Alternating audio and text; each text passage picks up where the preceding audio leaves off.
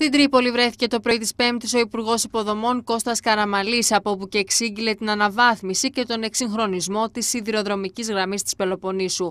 Κατά τη διάρκεια της συνάντησης που είχε με τον Περιφερειάρχη Παναγιώτη Νίκα, έπεσαν οι υπογραφές για το χρυσιδάνιο για την παραχώρηση της γραμμής του ΟΣΕ, περίπου 60 χιλιόμετρων, που ενεργοποιεί τις διαδικασίες για να γίνει εκεί ένα πρότυπο, περιβαλλοντικό και οικολογικό πάρκο. Ε, σε μια εποχή που δεν μπορούμε να έχουμε ανάπτυξη χωρίς ένα σύγχρονο σιδηρόδρομο. Η αλήθεια είναι ότι στα σιδηροδρομικά έργα η χώρα μας έχει μείνει πάρα πολύ πίσω.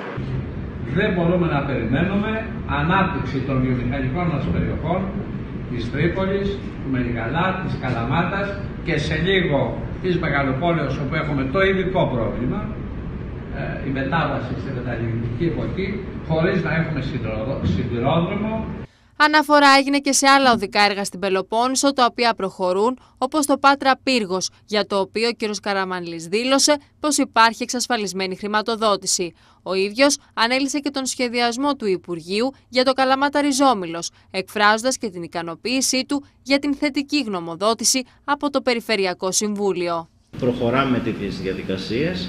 Θέλουμε να ελπίζουμε ότι εντός 18 μηνών, γιατί έχει προχωρήσει ήδη η πρώτη φάση του διαγωνισμού, θα έχουμε ανάδοχο. Αυτό το έργο γίνεται λοιπόν με ευρωπαϊκά κονδύλια και ευρωπαϊκή χρηματοδότηση και είναι ένα έργο το οποίο νομίζω ότι έχει πάρα πολύ σημαντικό αναπτυξιακό πρόσημο για την περιοχή. Συνάντηση είχε και με τον Δήμαρχο της Τρίπολης, όπου τον καλωσόρισε μαζί με τον Υφυπουργό Εξωτερικών και Βουλευτή Αρκαδίας Κώστα Βλάση.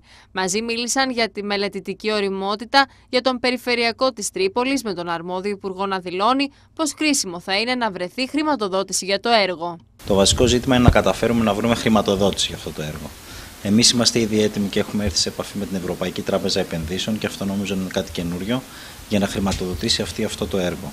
Επομένως, αφού τελειώσουν οι μελέτες, θα πρέπει να κάνουμε και τη μελέτη σκοπιμότητας και βιωσιμότητας. Χωρίς μεγάλα λόγια, το είπα και προηγουμένως, ο Υπουργός θα κάνει ό,τι περνάει από το χέρι του για να, για να βοηθήσει τον τόπο μας. Θα είμαστε σε ανοιχτή γραμμή και σε συνεργασία, όπως συνοηθήκαμε με τον κύριο Υπουργό, για να μπορέσουμε να προωθήσουμε τα έργα αυτά. Ο Υπουργός άλλωστε με κάθε ευκαιρία ανέφερε πως η εποχή που οι Υπουργοί ανακοινώναν έργα χωρίς εξασφαλισμένη χρηματοδότηση τελείωσε και πως ο ίδιος δεν πρόκειται να ανακοινώσει πράγματα για τα οποία δεν έχει πρώτα εξασφαλιστεί η πηγή χρηματοδότησης.